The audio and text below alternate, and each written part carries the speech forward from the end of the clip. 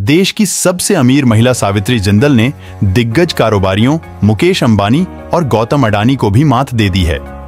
साल 2023 में जिंदल की दौलत में इतना ज़्यादा इजाफा हुआ कि दुनिया की सबसे अमीर शख्सियतों में गिने जाने वाले अंबानी अडानी समेत देश के सारे कारोबारी उनसे पीछे रह गए।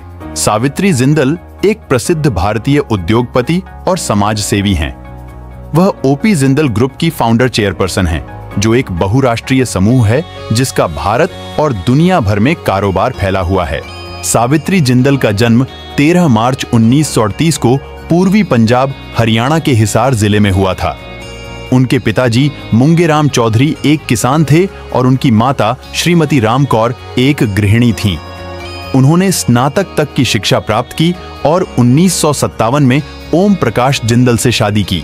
शादी के बाद सावित्री जिंदल ने अपने पति ओपी जिंदल के साथ उनके व्यवसाय में सक्रिय रूप से भाग लेना शुरू किया। उनके योगदान के लिए उन्हें स्टील लेडी की उपाधि भी दी गई। ओपी जिंदल के 2004 में निधन के बाद सावित्री जिंदल ने ओपी जिंदल ग्रुप की फाउंडर चेयरपर्सन का पद संभाला।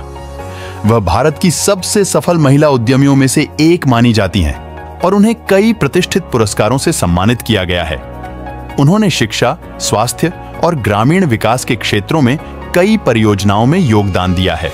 दोस्तों, हमारे द्वारा दी गई जानकारी आपको कैसी लगी? हमें कमेंट करें और हमारे चैनल को सब्सक्राइब करें।